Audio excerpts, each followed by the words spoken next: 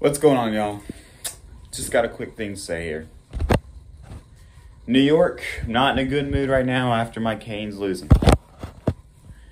Um, it is gonna take me a little while to get over, but I'll be fine. Trust me. But anyways, Islanders, please make me feel better by beating the Bruins. Well, I don't know why I did that, but please make me feel better by beating the Bruins. It would just make my day. It would make my night.